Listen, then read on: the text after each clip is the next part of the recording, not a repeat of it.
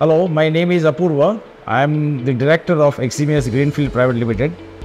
Uh, we are uh, manufacturing of uh, molded fiber products.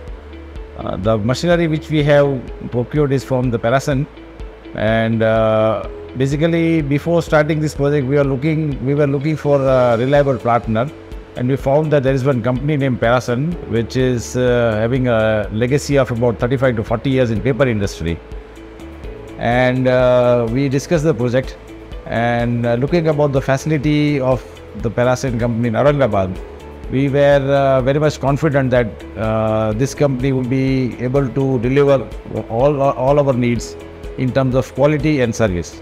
They have very much special mastery in uh, stock preparation because it is their core subject and the total stock preparation is uh, 100% automatic and uh, SCADA based system it is and mostly just a single or a two person maximum is required to operate the stock preparation plant and we are satisfied with uh, the stock preparation which uh, the uh, company has supplied to us.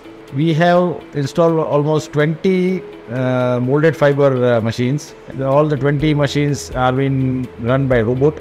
It is a fully automatic plant, completely hygiene facility and for all this system, Parason has guided us a lot. I would like to mention that uh, we are almost satisfied with uh, and uh, they have supplied the machinery uh, which, are, which are of standard quality, uh, good components, good parts and uh, the service, the installation at the time of installation, the team and everything, we are almost satisfied. And uh, in later stage also we would uh, be interested working with uh.